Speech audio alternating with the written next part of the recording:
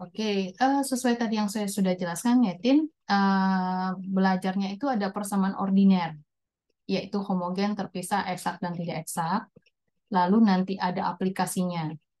Dan juga ada selanjutnya materi transformasi Laplace. Nah, kalau buku yang ini itu uh, memang ini ada terbitan baru, saya juga nggak share ya. Tapi bisa Christine nanti pakai Google, ketik aja nama saya Desi Abisnasari, lalu tulis aja nama buku ini.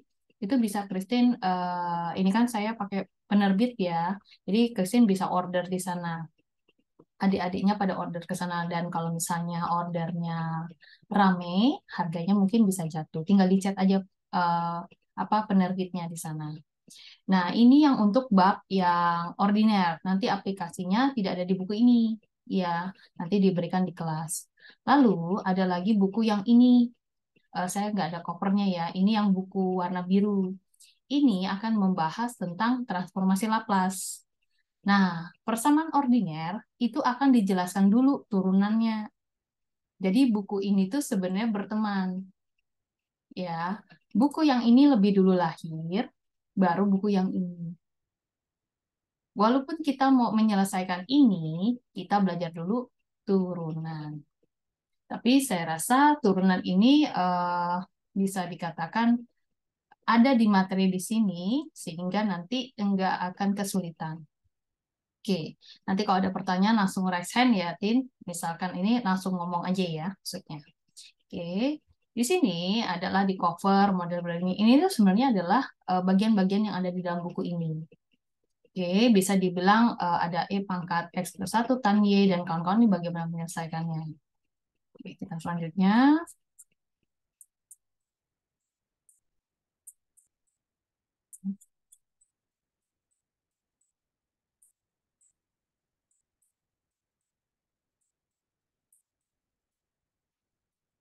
Oke, ini daftar isinya, Tin. Uh, ada persamaan diferensial order 1, variabel terpisah. Ini tuh soal yang akan dijelaskan di dalam buku ini. Ya, soal yang dijelaskan di buku ini. Lalu, ini yang order 1 yang homogen, juga adalah soal-soal yang akan dijelaskan di buku ini juga. Lalu ini adalah eksak dan tidak eksak, ya. Jadi akan banyak, maksudnya kamu akan diberitahukan persamaan yang untuk Bagaimana caranya homogen? Lalu diberikan latihan dan latihannya itu uh, sudah ada jawabannya, tapi dengan cara pemula. Step by stepnya ada. Nah, ini adalah resume garis besarnya, Tin. Kalau kamu mau pakai variabel terpisah, itu langkahnya kurang lebih seperti ini. Kalau nanti kamu menyelesaikan dengan homogen, itu langkahnya kurang lebih seperti ini. Kalau eksak, penyelesaiannya seperti ini. Ya, Nanti kalau yang nggak eksak kan harus diubah dulu ya, ada faktornya, baru baru bisa kita selesaikan secara eksak. Kurang lebih ini. Oke, saya selanjutnya. Nah, ini harus dipahami, Tin, kalau kita mau belajar persamaan ordiner yang urusannya turunan. Ada beberapa hal. Di sini saya berikan huruf bukan hanya X. Misalnya kan kalau Kristen sama ini taunya sin X ya, pasti turunannya cos X. Nah, suka lupa belakangnya tuh ada dx-nya, Tin. Sama di sini, kalau kita tulis sin E, maka tulisannya cos E dE. Makanya di sini huruf-hurufnya berubah sama saya. Mengapa? Agar terbiasa. Di teknik kimia itu tidak mengenal X saja, tapi mungkin ada Z, ada T besar atau suhu, ada T kecil sebagai waktu, ada K mungkin di sana, ada L mungkin di sana sebagai panjang. Itu banyak hal yang mungkin bisa dipakai di peristiwa perpindahan panas. Nah, ini dibiasakan dengan huruf-huruf yang lain dan mungkin di ujian atau latihan saya akan mengeluarkan huruf-huruf yang lain. Nah, ini kaidah-kaidah yang bisa digunakan selama latihan menggunakan buku ini. Ini adalah rangkumannya. Tapi nanti kalau kita ada soal menjelaskan tetap bagian-bagian ini akan dimention lagi di bagian bawah. Ya, seperti kayak E pangkat F itu kalau diturunkan seperti ini. Nah, ketika uh, ini tuh bisa dipakai dua arah ya, Tin. Misalnya E pangkat F turunannya adalah E pangkat F DF. Kalau E pangkat F DF diintegralkan, maka jawabannya EF. Jadi kalau diri dari kiri ke kanan itu adalah turunan, dari kanan ke kiri adalah integral. Ini lucu juga ya Zoom saya. Oke, lanjut. Setelah kita tahu aturan penurunan ya, aturan turunan ya, konsep turunan di sini. Di sini ada identitas dasar dari sinus dan kosinus. Ada yang namanya sepersin A, itu sebenarnya adalah kosek A. Seperkos B adalah sekan B. Sepertan C itu adalah kot C. Dan juga di sini ada sin 2A, sin 4B. Loh, kok nggak ada sin 3 3A, 3C, 3B, dan 3 huruf lainnya. Kalau sin rata-rata kelipatannya 2. Ya, kalau tan kelipatannya mulai dari 2 ke 8. Rata-rata. Jadi kesannya kalau sini 2, ini 1. Ya, kalau sini 2 berarti sini bisa 4 ya. ya ngeliat pola yang ini ya maksudnya. Oke, lalu ada cos 6D. Ya, segala macam di sini. Dan hati-hati di cos ini ya. Kalau cos kita tuh selalu menghindari uh, bagian kalau dia uh, posisinya adalah cos 0 itu kan eh sorry cos 90 ada beberapa nanti di latihan kelihatan. Cos itu harus dimodifikasi. Dan di bagian bawahnya yang bentuknya yang pangkat kuadrat. Kayak sin kuadrat y plus cos kuadrat y adalah satu. Kalau cos kuadrat y adalah satu min sin kuadrat. Ini kan kebalikan uh, kayak pindah ruas ya kita katakan dan uh, ketika membahas sin kuadrat Y, cos kuadrat Y adalah satu, pasti di bawahnya adalah tan kuadrat B. Di sini yang secant kuadrat. Ada juga yang cot kuadrat C dengan cosec kuadrat C. Ini sebenarnya daerah yang ini tuh ya, adalah daerah ini. Daerah dari sin kuadrat ini.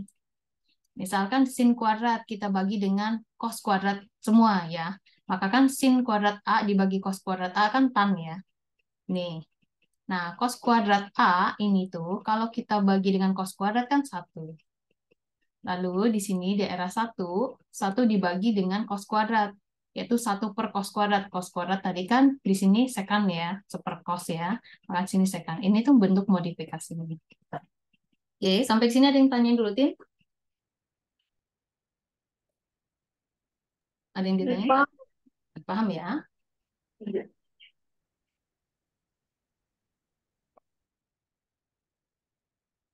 Ya. Oke, saya lanjut bagian bawah. Ya, nah ini dia persamaan diferensial orde 1. Kemarin tuh ada pertanyaan tim di kelas sama saya. Kalau X diturunkan, hasilnya apa, tim?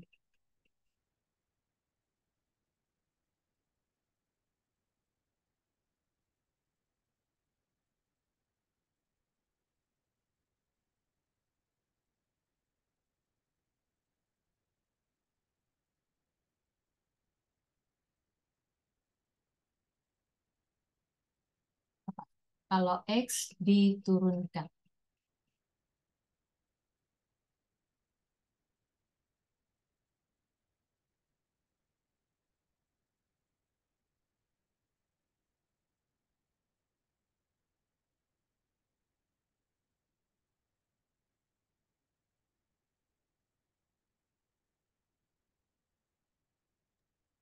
integral 1 per X, Bu.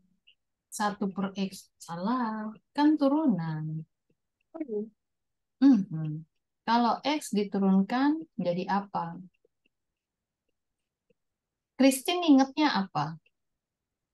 Kalau dalam turunan integral dia yang pasti jawabannya benar. Turunan integral 1 per X dx. Mm -hmm. Itu sama dengan ln X, Bu. Oke, kalau seper X dx diintegralkan, kita balik ya ke bagian atas yang ini ya. Oh, ini ya. Iya. Ya, kalau seper G dg diintegralkan, jadi gini Tim. Sesuatu itu kalau mau diturunkan nanti akan punya label D-nya. Ya, D-nya itu diferensiasi atau diferensial. Jadi kayak E pangkat F diturunkan, ini hasilnya. Ya. Nah, sekarang kalau kita punya label X diturunkan, X itu eh, apa namanya? X pangkat X pangkat satu kan sebenarnya. Kalau diturunkan kan pasti pangkatnya turun ya. Nah, sebenarnya jawabannya adalah X diturunkan hasilnya adalah satu rata-rata menjawabnya. Tapi, ya kayak 2X turunannya 2. Gitu ya. Karena X-nya kan pangkat, uh, apa namanya, uh, sudah pangkat satu. Nah, ketika kita menjawab 2, 2 itu kalau diintegralkan terhadap dx, maka harus hasilnya kembali ke 2x. Misalnya saya tulis ini ya. Uh, 2x, 2 ya, sorry. X ya, kita turunkan. Ini tuh sebenarnya adalah X pangkat 1 ya. Sebenarnya kan ya, betul ya? X pangkat 1 ya. Maka X pangkat 1 itu kalau diturunkan jadinya uh, sebentar. Uh, angka satu yang di sana kita turunkan di sini, ya. Lalu X pangkat 1 kurang 1. Berarti kan sini 1, X pangkat 0 ya. Angka? Oke. 1, X pangkat 0 itu kan 1, Tin. Ya kan? Maka jawabannya 1. Sebenarnya ini betul, tapi ada yang lebih betul lagi. Ketika kita turunkan, di sini tuh harusnya kita kasih label dx. Mengapa? Sorry, x-nya besar kan? Mengapa? Agar kita tahu bahwa ini diturunkan terhadap x. Sehingga ketika kita dapat di sini, ya, kan, sorry ya, Jadi nanti kalau kita integralkan lagi, ya, kita tulis ini integral dx, maka itu adalah x. Kalau ini tidak ada label, misalnya cuma integral 1, ini bisa macam-macam, bisa huruf A, atau Z, atau yang ini. Karena kita tidak tahu diintegralkan terhadap siapa. Nah, sama seperti ini, kita harus menuliskan dia diturunkan terhadap siapa. Seperti itu. Paham ya? Kurang lebihnya ya. Oke, sekarang kita masuk ke soal. Nah, ini uh, Christine bisa uh, nanti tulis yang nomor 1.4 sama 1.5 untuk dikerjakan secara mandiri. Ya, kalau di buku ini sih udah ada jawabannya. Saya hanya akan menjelaskan 1.1 sampai 1.3. Oke, nangkep ya poinnya ya. Oke.